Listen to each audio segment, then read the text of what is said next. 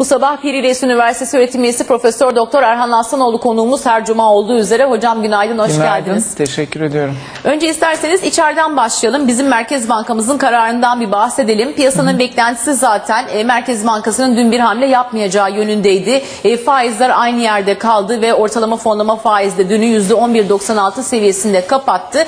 Ekonomistlerden yorumlar aktarmaya çalıştık. Diyorlar ki aslında hem kur hem yurt dışı konjonktür e, bir faiz hamlesine izin verirken indirime gitmemiş olması merkezin demek ki e, önümüzdeki süreçte de sıkı duruş devam edebilir sinyalini bize veriyor. TL için pozitif. Aynı zamanda tabii maliye e, politikası genişlediği için de enflasyonla mücadele için manevra alanı bulunuyor merkezin. Ne dersiniz hocam? Hem dünkü metni siz nasıl karşıladınız hem de ortalama fonlama faizinde önümüzdeki günlerde böyle kompozisyon değişikliğiyle bir farklılık görür müyüz dersiniz?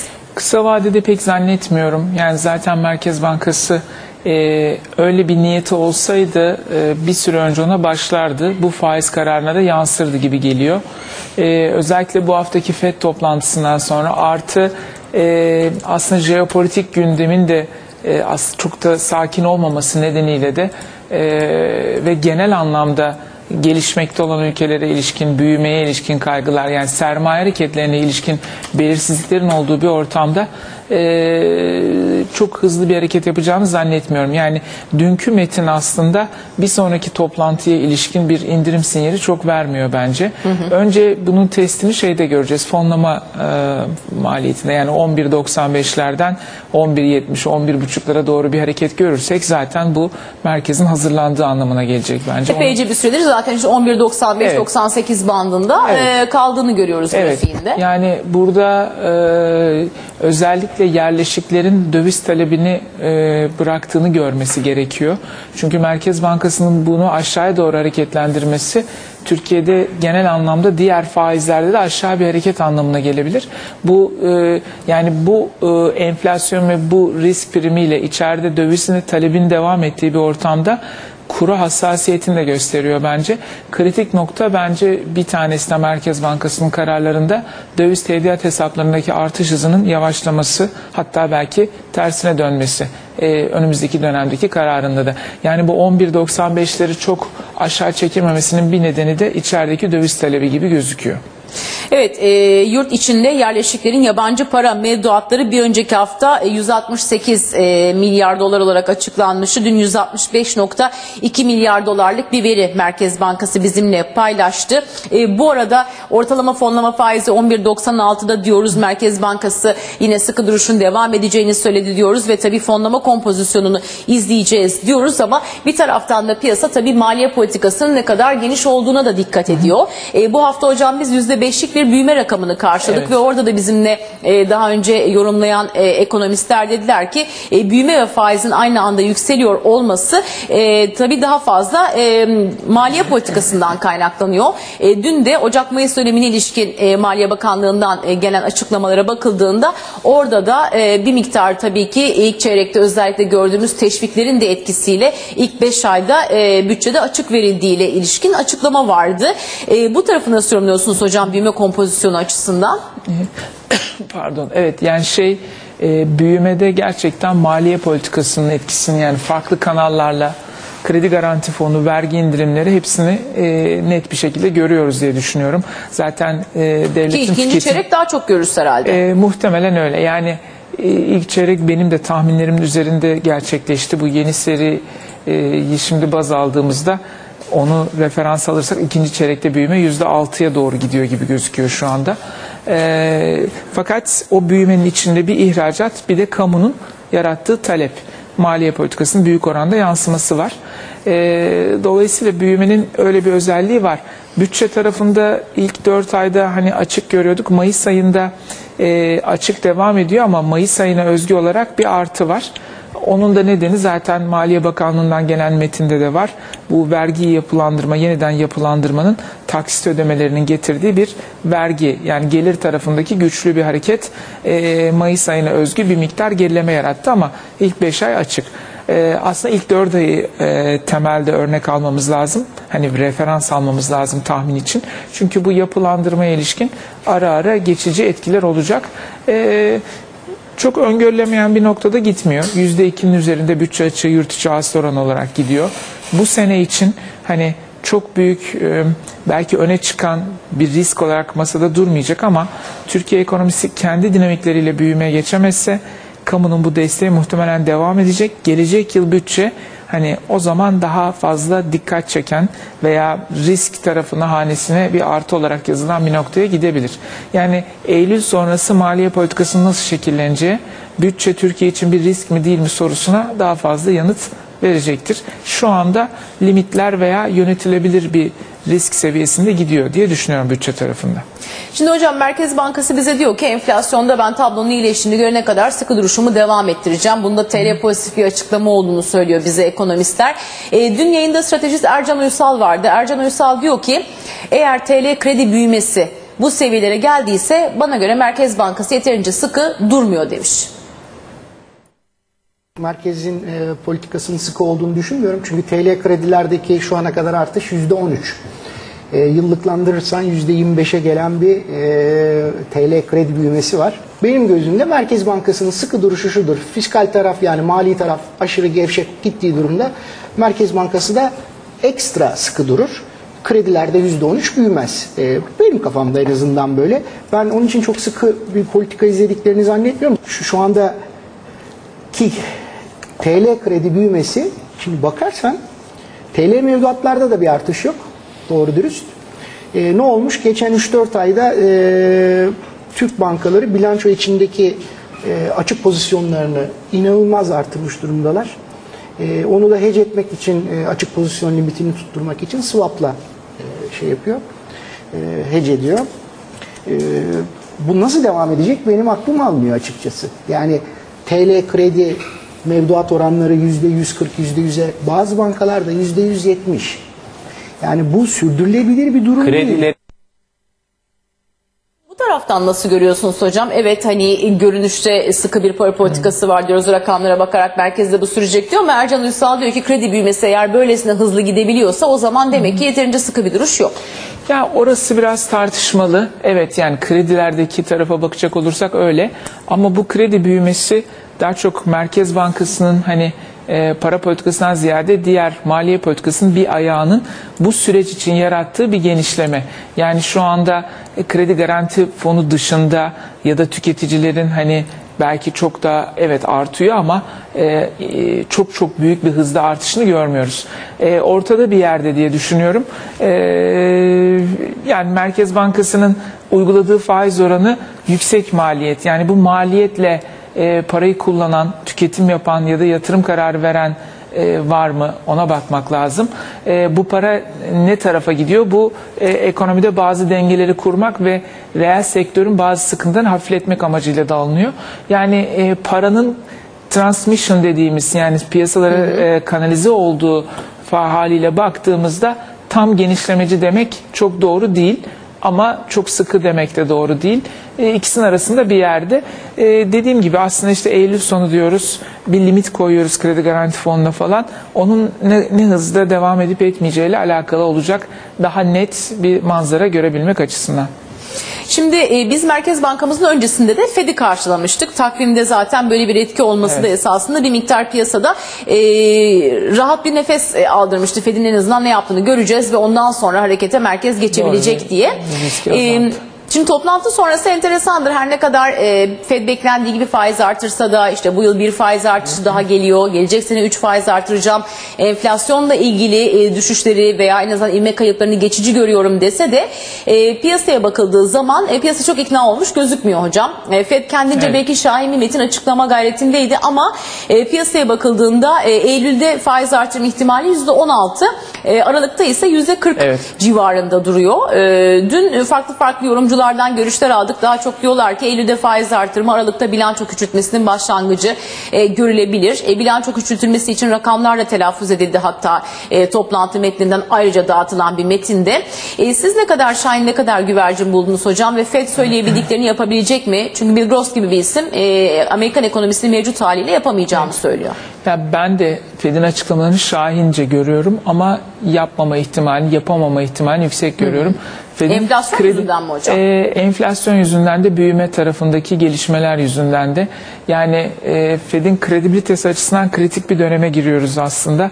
Son 2-3 yılda da hani işte 3 kere faiz arttıracağım, 4 kere faiz arttıracağım bir kere de kaldığı bir dönem gördük. Bu senenin başında evet farklı bir manzara çıktı. Fed bile düşündüğünden erken belki de Mart'ta bir faiz artırımına başladı. Ama e, gerek gelen makro veriler Amerikan ekonomisinden, dünya ekonomisinden enflasyon ve büyüme tarafında e, ve gerek de genel global anlamdaki piyasalara baktığımızda finansal piyasaların fiyatlamasına baktığımızda yani işte 10 yıllık tahvil faizleri, e, diğer 2 yıllık 30 yıllık faizler e, pek Fed'i desteklemiyor. E, buradaki tahminler de desteklemiyor. Fed bu yıl ben bir kere daha yapacağım diyor.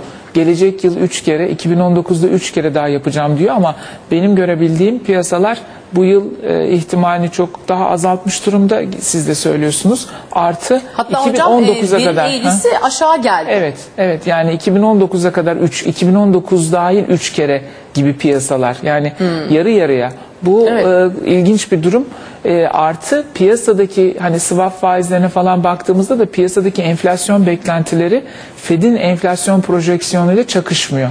Şimdi burada eğer Fed bu tahminlerinde de yanılırsa 1-2 yıl içinde kredibilitesi açısından daha sıkıntılı bir duruma gidecek. Yani piyasa daha iyi okuyor, FED bunu iyi okuyamıyor. Son 2 yılda bayağı puan kaybetti aslında FED. E, bu 2 yılda kaybederse bu biraz e, fazla olacaktır ve sıkıntı yaratacaktır. Volatiliteyi de arttırır. E, ya e, yani burada iki taraftan birisi haklı gözükecek ama ben piyasanın daha doğru fiyatladığı kanaatindeyim. Yani e, belki konuşuruz. Gelişmekte olan ülkeler başta olmak üzere içinde Çin de dahil yavaşlama sinyalleri artıyor. Amerikan ekonomisi zaten ciddi belirsizliklerle ve büyüme sorunuyla yaşamaya aday. Avrupa ben yine sıkıntılara doğru gitmekte olduğunu düşünüyorum. Hani bu ortamda faize çok yüklenecek bir ortam yakalayamayacak. İşte bu hafta da geldi. Petrolde arz fazlası olacak. E Fed bu kadar faiz arttırırsa o petrol fiyatları yine 30 dolara gider. Bu ülkeler yine batma tehlikesiyle karşılaşır. Başka bir e, sıkıntıya gideriz. Yani bunlar tabii uç örnekler E, ama e, Fed'in çok da kolay hareket edemeyeceği anlamına geliyor. FED bir test içerisinde piyasanın gözünde ama ben piyasa daha doğru tarafta diye e, düşünüyorum şu anda.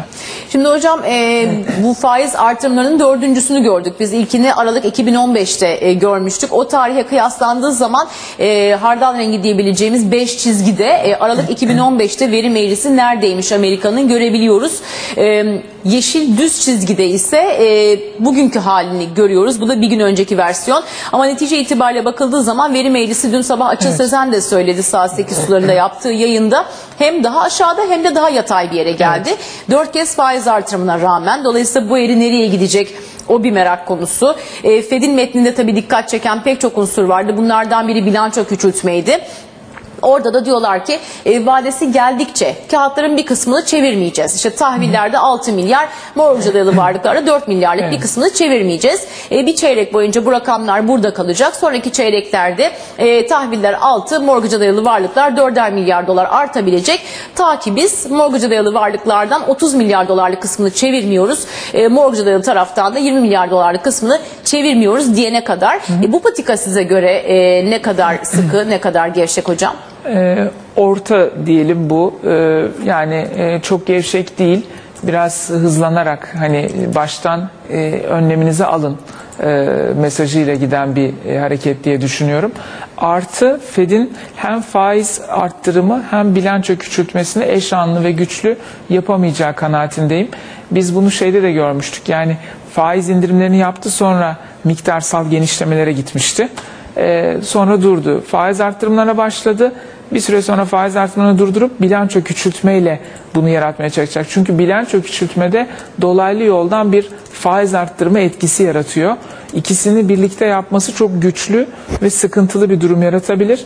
Ben Fed'in e, faiz artırımlarında değil de bilançoyu küçültme yönünde adımları olabileceğini ama o boyutta da olma ihtimali yine çok güçlü olmadığı kanaatindeyim. Yani iki yıl içinde FED bilançosunu %25 oranında yaklaşık daraltacak bir adım atarsa yine e, bugünkü dünya konjonktüründe veya görüntüsünde e, çok büyük riskler yaratabilir. E, FED de haklı yapması gerekenler konusunda ama dünya ekonomisinde asıl yapılması gerekenler yapılmadığı için yani bu sorunu konuşmaya hep devam edeceğiz. O riskler de birikmeye devam edecek gibi gözüküyor. Şimdi hocam Bloomberg'un Amerikan sürpriz endeksine de bakıyoruz. Amerikan ekonomisinden son gelen veriler ekonomist tahminlerinin ne kadarında e, sapma göstermiş diye. E, burada tablonun negatife geçtiğini görüyoruz. Dolayısıyla artık olumlu değil olumsuz yönde sürpriz Evet. yapan bir Amerikan veri tablosu var karşımızda. E, tabii bunun içerisinde bu hafta perakende satışlar girdi. Öncesinde tarım dışı istihdam rakamları vardı. Dolayısıyla sizin de dediğiniz gibi esasında sadece enflasyon kalemi değil aslında diğer taraflara da bakıldığı zaman Amerikan ekonomisi belki beklendiği kadar güçlü bir performans göstermedi. E, biz tabii bu süreçte kendi verilerimize de odaklandık. İşte büyüme verisini %5'te karşıladık dedik. E, işsizlik rakamı dün geldi. Bir de oradan bahsedelim Tabii. isterseniz hocam. Çünkü dün aslında e, piyasa beklentisi 12.6'dan 12'ye iniş yönündeydi. Ancak dün 11.7 gibi bir seviye geldi. E, gazetelere baktığımız zaman Cumhurbaşkanı Erdoğan'ın istihdam seferberliği konusundaki çağrısının da burada etkili olduğuna işaret eden değerlendirmeler var. E, yılı tek hanede kapar mıyız? Siz dünkü seviyeyi ne kadar kalıcı gördünüz hocam? Yılı tek halde kapamamız çok zor ama önümüzdeki aylarda gelen işsizlik rakamlarında düşüş görmeye devam edeceğiz. Bu elbette bu istihdam kampanyalarında etkisi var çünkü istihdamda artışlar görüyoruz. Ee, ama iş gücüne katılım da e, ciddi biçimde hızını sürdürüyor Türkiye'de. O yüzden e, bu büyüme oranı geçtiğimiz yıl gibi işsizlikte bir artışa neden olmayacak. Ee, belki biraz yatay seyredecek. Yıl sonuna doğru tekrar artacak. Yıllık ortalamada geçen yıla göre bir miktar aşağıda olabilir ama e, çift tanelerde maalesef olmaya devam edecektir. Şimdi mevsimsel olarak yaz aylarında düşüşü göreceğiz. Yani bu 11.7, 11, 10'lara doğru hareketlenecektir. Fakat Eylül sonrası tekrar muhtemelen yukarı gidecek. Ee, hani orada en azından yakın dönem için bir analiz yapmak istersek işsizlikte de enflasyonda olduğu gibi 12'ler hani 13'lere yakın hatta top seviyeleri gördük. Yavaş bir geri dönüş e, sürecindeyiz. Ama tabii ideal olduğunu düşündüğümüz, hedeflediğimiz ya da arzu ettiğimiz seviyelerden uzağız. Yani her ikisinde de 5. Enflasyonda da işsizlikte Türkiye'nin hedefi ilk etapta 5'e doğru gitmek olmalı. Hayli uzaktayız şu anda. Evet o beşler şu an için rafa kalkmış gibi e, Evet. gözüküyor. Çünkü enflasyona örneğin bakıyoruz 11'li seviyeler karşımızda. E, işsizlik oranı bu arada işte 12'lerden bir miktar boyunu aşağı çevirirken büyümenin hızlandığı bir ortamda halen enflasyonda e, ve yine işsizlik rakamında yukarı gittiğimizi görüyoruz. Sarı çizgide büyüme seviyesi var. E, yeşilde işsizlik e, düzeltelim yıllık tüfe rakamını görüyoruz. E, beyaz çizgide ise e, Be- düzeltelim. Beyazda işsizliği görüyoruz. Evet. Sarıda büyüme, yeşilde ise yıllık Evet. enflasyon seviyesi var. Ee, bu kompozisyon ekonomi adına model açısından bize nasıl bir e, yorum gerektirir hocam? Ee, yani aslında Ya büyüyoruz biraz ama enflasyonla büyüyoruz ve işsizliğimiz yüksek Ee, büyüyoruz. Yalnız şöyle bir e, dinamikleri açısından yani bu talep enflasyonu değil. Bu büyüme ekonomiyi ısıttığı için Maliyet Türkiye enflasyon e, yaşamıyor dediğiniz gibi. Bu maliyet enflasyonu. E, dolayısıyla dinamikleri farklı. E, eğer şöyle olsa zaten o büyüme talep baskısıyla bir enflasyon yaratıyor olsa Merkez Bankası da belki daha da farklı bir noktada olacak ama o noktada değiliz farklı dinamikler birleştiği bir ortamdayız şu anda. Yani pozitif haber istihdamın artması yani ne, ne olursa olsun istihdamın artması önemli ama diğer tarafta işte 1 milyondan fazla iş gücüne katılma olduğu bir ülkedeyiz. Dolayısıyla hani bu da e, bir de göçmenlerin de iş gücüne katıldığı bir Evet süreçteyiz. yani burada yerleşey, e, yerleşik olmaya başladıkça burada bir ikamet edinmeye başladıktan sonra zaten o rakamların içine o iş arayanların arasında dahil olmaya başlıyorlar. E, artılar var, eksiler var ama daha çok gitmemiz gereken yol var gözüküyor şu anda. E, işsizlik rakamlarını dün e, yayında değerlendirirken İstanbul Kemerburgaz Üniversitesi öğretim üyesi Profesör Doktor Hayri Kozanoğlu Hoca yayındaydı. E, nasıl bir yorum yaptı işsizliğe onu da ekrana getirelim. genel e, trende göre e, biraz daha e, işsizlikte daha hızlı bir azalma söz konusu. E, işsizliğin en düşük e, seyrettiği dönemler e, Nisan veya Mayıs ayları yıllara göre değişiyor. Onun için önümüzdeki ay ve Mayıs ayındaki e, işsizlik e, rakamları e, gerçek tabloyu daha net bir şekilde ortaya koyacak diye düşünüyorum. Çünkü yaklaşık olarak işsizliğin en yüksek seyrettiği e, Aralık ve Ocak aylarıyla e, Nisan veya Mayıs ayları arasındaki fark e, yüzde iki civarında e, oluyor. En sert düşüşte e, Nisan ve Mayıs aylarında gözlemleniyor. Onun için e, önümüzdeki aylara bir bakmak gerekiyor ama e, iki türlü e, bakmak e, söz konusu. Bir tanesi evet e, bir düşüş var. Ee, diğeri ise yoruma açık olarak alınan önlemlere rağmen işsizlikteki düşüş böyle sınırlı mı diye yani bardağın yarısı dolu da demek mümkün bardağın yarısı boş demek de mümkün. Şimdi piyasa için bu hafta renkli, hareketli bir haftaydı dedik. Bir yandan Fed'i karşıladık, içeride Merkez Bankamızı gördük. Diğer tarafta dolar kurunun 3.50'nin altına geldiği bir hafta bu hafta bizim için. Ve tabii e, borsa cephesine bakıldığında epeydir e, artık psikolojik bir direnç haline geldiğini e, herkesin aktardığı 100 bin seviyesi bu hafta görüldü. Şimdi 100 bini gördük ama 101 bin, mesela 100 bin biri görmedik diyor izleyiciler. İşte 100 bine o kadar hızlı değeri çekildi ki fotoğrafını bile alamadık grafiğin diyenler var. E, şimdi tabii burada esasında belki şunu konuşmak lazım hocam. Evet 100 bin seviyesi gün içi seviyelere bakıldığında borsamız için bir rekor ama Dolar bazlı rekorumuz 5.1 gibi bir yerde duruyor. Geldiğimiz yer 2.8. Demek ki burada kat edilecek bir yol var hala. Dolayısıyla aslında belki bu taraftaki bir rekoru kovalamak lazım. Ee, ama pek çok ekonomist bize diyor ki burada yeni bir hikaye yazılması lazım. Ee, nasıl bir hikaye yazacağız hocam? Dolar Bence bazlı rekoru yakalamak için. O e, o hikayenin bir kısmı dünya ekonomisiyle ilgili. Yani dünya ekonomisinde yeni bir hikaye yazılmadıkça ki o hikaye yapısal taraftan geçiyor. Gelişmekte olan ülkeler ve Avrupa'nın ciddi bir e, hani Amerika'da dahil tabii Japonya hepsinin ayrı hikayesi var. E, o yapısal değişimden sonra e, bütün dünya borsalarıyla beraber Türkiye'de artı tarafa doğru gidebilir. İçeride ise Türkiye ekonomisinde hani sürdürülebilir büyüme tarafında ve yeni serilere bakınca yüzde beş ve üzerinde bir büyümeye doğru giden bir Türkiye ekonomisini görmemiz gerekiyor. Hani orada e, yatırıma dayalı yani yatırımlarla borsayla yatırımlar arasında da bir ilişki vardır. Yani ikisi birbirini besleyen bir süreçtir.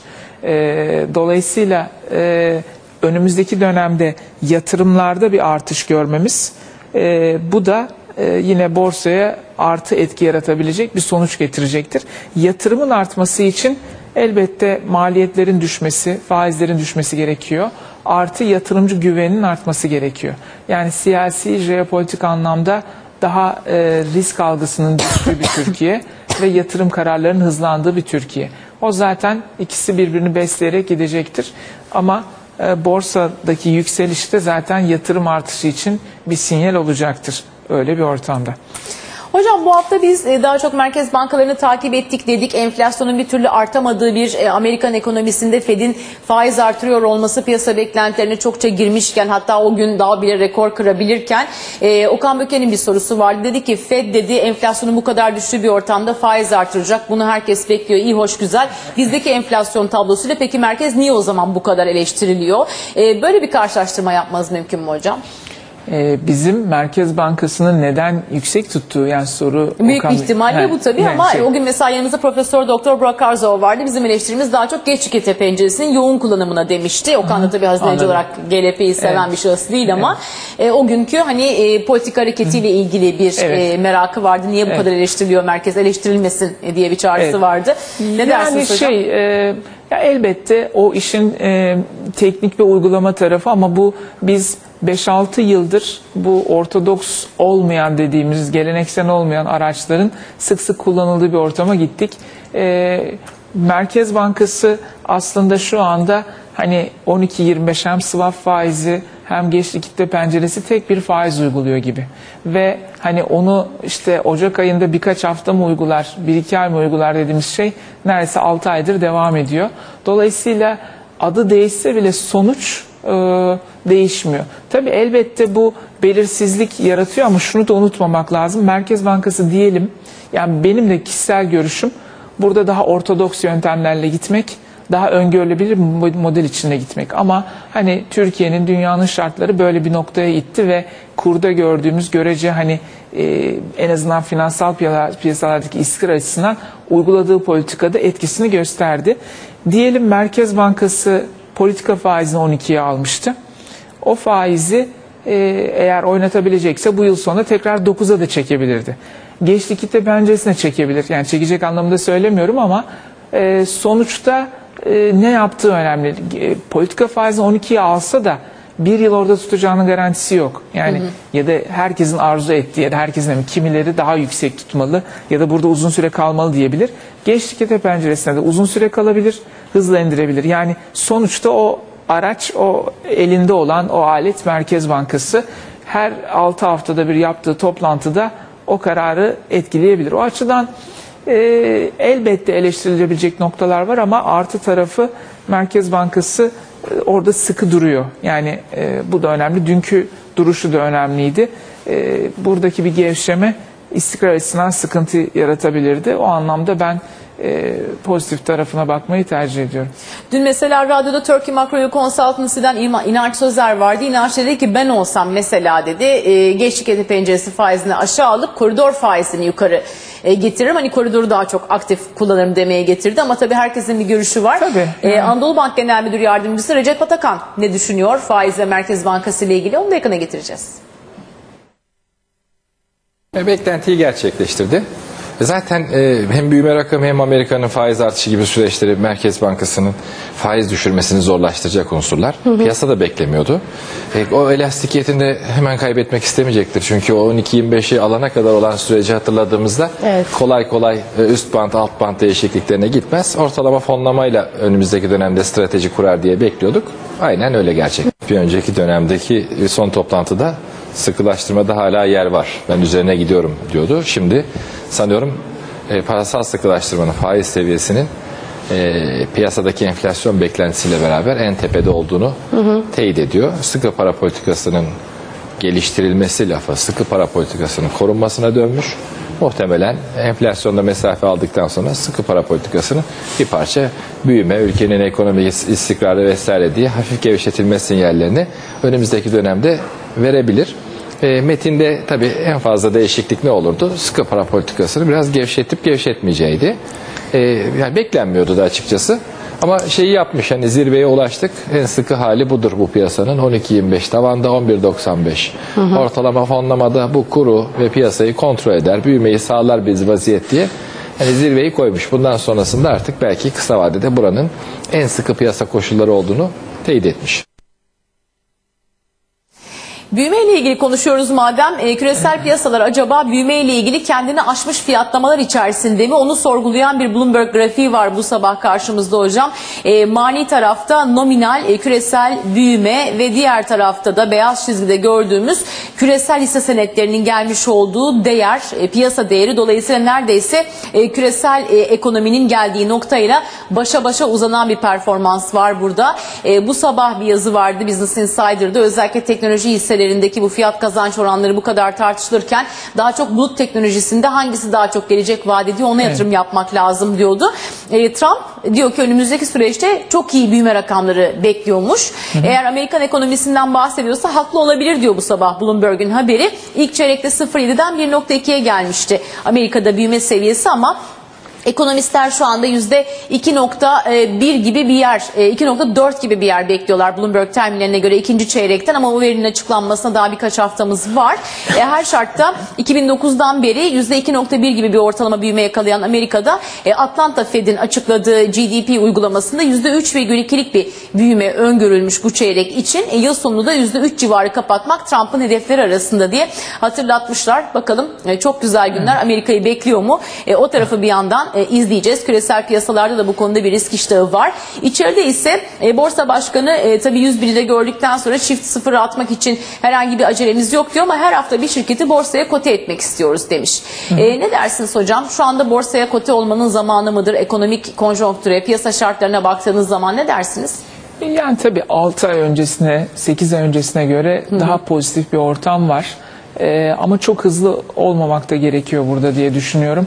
Çünkü e, benim kanaatim yani biraz önce yayın başında da hep ya da son haftalarda konuştuğumuz gibi bu büyüme hikayesinin global anlamda devam etme ihtimali azaldığı için borsalarında e, biraz hızı kesilecektir. Öyle bir ortamda hani biraz hayal kırıklığı da yaratmamak ya da borsa Türkiye gibi e, Türkiye ekonomisinde hassas e, yatırımcının hani ara ara veya fazlasıyla ürktüğü de bir ortam. O anlamda biraz dengeli gitmek lazım ama bir taraftan da evet yani sonuçta e, öyle en mükemmel diye bir dönem yok. Borsanın çıkışta olduğu, dünya ekonomisinin büyüdüğü bir dönem. Bunu yapmak e, doğru ama çok çok hızlı gitmemekte fayda var. Hani çünkü bunlar çıktıktan sonra ben borsaların aynı hızda gideceğini tahmin etmiyorum. Yani yatırımcıda bir hayal kırıklığı da yaratmamak, dengeleri gözetmek gerekiyor sanıyorum. Şimdi hocam bu arada Türkiye'nin CDS'i 5 yıllık risk primi de 186,5 bas puanla 2,5 ayın en düşük seviyesinde ama hazine bu hafta e, planlananın bir miktar üstünde borçlanınca e, piyasada faizlerin çok fazla aşağı gelmeyeceğine ilişkin konuşmalar Evet. vardı tahvil için. Kurlar cephesinde son 5 günlük grafiğe bakınca gelişen ülkelerde Meksika pesosu, Brezilya reali ile beraber TL'nin de yükselişte olduğu bir hafta içerisindeyiz. E, gelişen ülkelerle ilgili biraz daha açalım birazdan sözü dediniz Doğru. hocam. İsterseniz o tarafa da bir dönelim. Orayı nasıl görüyorsunuz? Ee, şimdi bu yıl gelişmekte olan ülkelere Uluslararası Finans Enstitüsü bu konuda aslında en iyi tahminleri yapan yerlerden birisi. Geçtiğimiz iki yıla göre daha büyük bir e, sermaye girişini öngörüyordu ve bu trend devam ediyor. Yıl sonuna kadar da devam edecek gibi gözüküyor. Yani başta Amerika olmak üzere borsaların e, çok ciddi değerlenmiş olması ve getirilerin düşük kalması bizim gibi ülkelerde, gelişmekte olan ülkelerde cazip bir getiri yaratıyor bono piyasası için ve buraya sermaye girişi devam edecek gibi gözüküyor. Carry trade dediğimiz yani ucuza borçtan yüksek getirili yere e, kaynağı aktar stratejisi gelişmekte olan ülkeler için önümüzdeki aylarda devam edecek muhtemelen. Ve bu da e, Türkiye'de iyi getiri sağlayan ülkelerden birisi olduğu için özellikle bono tarafındaki giriş, belki kısmen borsada da bu olabilir. E, bu baskıyı e, Türk lirasının değerlenmesi yönündeki hareketi bir miktar daha devam ettirebilir. Fakat e, yıl sonuna doğru ve 2018-2019 için e, genel anlamda yine büyümeyle ilgili sıkıntılar artı Fed'in her halükarda bu e, bilançoyu küçültme denemesi gelişmekte olan ülkelere sermaye girişini bu yıla göre tekrar aşağıya doğru çekebilir. O miktarı azaltabilir. O da e, bu anlamda yerel paraların bir miktar değer kaybetmesi anlamına gelir. Yani piyasalar biraz tahterevalli gibi oradan bu tarafa gidiyor. Şu anda önümüzdeki 3-5 ay evet pozitif seyir devam edecektir. Fakat bir yıllık bir süreçte e, tekrar bir dengelenme olur. Yani bir değer kaybı yaşanabilir gelişmekte olan ülkelerin parasına diye eklemek gerekiyor belki. Şimdi diğer gelişen ülkelere kıyasla faizler cephesinde bir miktar yukarıda kaldığımız epeydir konuşuluyor ama dün e, iş yatırımdan Muammer Kömürcüoğlu da söyledi. Özellikle enflasyondan arındırınca reel getiri deyince Rusya ve Brezilya'dan sonra Türkiye aslında üçüncü dedi. Ancak nominal rakamlara bakıldığı zaman Türkiye'nin bir numarada olduğunu görüyoruz. Bunun da zaman zaman TL için bir destek unsuru olduğu işte bu 3.50 civarındaki seyre destek olduğuna ilişkin yorumlar var. E, FİBA Banka Genel Müdür Yardımcısı Ömer Gencal dün yayınımızdaydı. Ömer Bey de bu konuyla ilgili yorumunu paylaştı. Hemen grafikle konuşalım o zaman biz de. Ee, şuradaki grafik aslında şunu anlatıyor. Türk lirasının bir e, gelişen piyasalar basketi ile karşılaştırmasında faiz oranı olarak, kısa vadeli faiz oranı olarak beklenen enflasyon ve uygulamış olduğu politika faizi arasındaki fark o sepetin içerisinde bulunan aynı e, parametrelerle hesaplandığı zamanki arasındaki farkta diğer gelişmekte olan ülkelere göre daha fazla ne kadar risk primi veriyor diye e, açıklayan bir aslında grafik. Yani burada bu grafik negatife döndüğü zaman yani diğer gelişmekte olan ülkelere daha az miktarda şey verdiğimiz zaman risk primi verdiğimiz zaman Türk lirası değer kaybediyor. Bunun tam tersi olduğu zaman da Türk lirası değer kazanıyor. Özellikle kısa dönemli olarak. Şimdi gelişen ülkeler tarafına dikkat çekiyor tabii. Ömer Bey isterseniz biraz Çin'de konuşalım hocam. Çünkü bu hafta biz Çin'den veriler aldık. Ee, IMF'nin de Çin'le ilgili raporunda %6,7'den 6,6'ya çektiği bir büyüme tahmini vardı. Ee, küresel piyasalar için epeydir konuşuluyor. Tabii teknoloji hisselerini yakından izliyoruz ama acaba Çin bir sonraki risk unsuru olmaya aday mı diye siz nasıl görüyorsunuz? Ya orası belki çok büyük bir risk unsuru olmayacak ama hep göz önünde olacak. Fakat o risk birikiyor, artıyor muhtemelen. Ee, Çin'de mesela son gelen bir iki veri 4-5 ay, son 5-6 ayın e, örneğin sanayi üretiminde falan en düşük seviyelere işaret ediyor. Bu da gelecek aylarda büyümede bir yavaşlama sinyali anlamına geliyor. Çok büyük ekonomi yani Çin ekonomisinin şöyle bir yapısı var gibi kamu maliye politikasıyla özellikle ekonomi desteklediğinde büyüme biraz hareketleniyor. Hafif elini çektiği anda da geri gidiyor. Çünkü büyük oranda kamu ağırlıklı tasarrufların, yatırımların, tüketimin büyük oranda kamu eliyle yürütüldüğü bir ekonomi var. Dolayısıyla dünya ekonomisi de hani e, büyüme tarafında destek vermediği anda Çin bu anlamda geriliyor. Çin'e Çin hep ön tarafta olacak çünkü Çin'deki kredi hacmi toplam gayri safi yurt içi hasılasına oranladığımızda %280'lere gelmiş durumda. Yani kamu dahil. Özel sektörde bu %170. Bundan 20 yıl önce bu rakam %30'du. %280'lere doğru gitti. Çok büyük bir artış var. O zaman Çin ekonomisi %9-10, 11 ortalamalarda büyüyordu. Daha az kredi vardı. Büyüyen bir ekonomide sorunlu kredi riski azdı. Şimdi daha yavaş büyüyen, çok daha büyük kredi stoğuna sahip bir Çin var. Dolayısıyla yavaşlama ile ilgili her gelişme sorunlu kredi riskini ve bunun finansal piyasada bulaşma riskini arttırıyor. Çin'le ilgili veriler konusunda da hep spekülasyon yapıldığı için hani burada volatilite, dalgalanma yaratmaya aday acaba finans sektörüne bulaşıyor mu sorusunu hep masanın üzerinde gördüğümüz bir Çin olacak. Ee, dolayısıyla ben e, yine yıl sonuna doğru Çin'in ön plana acaba sorularıyla gelmeye başlayacağını düşünüyorum.